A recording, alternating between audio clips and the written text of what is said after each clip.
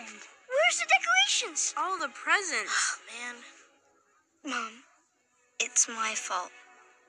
What, what is? All of this. I, I trapped Santa last night because I wanted to ask him to do something special for you. But I think I made him mad, and that's why he stole everyone's Christmas. No, no, no, no, honey, this isn't your fault. He didn't steal Christmas. He just stole stuff.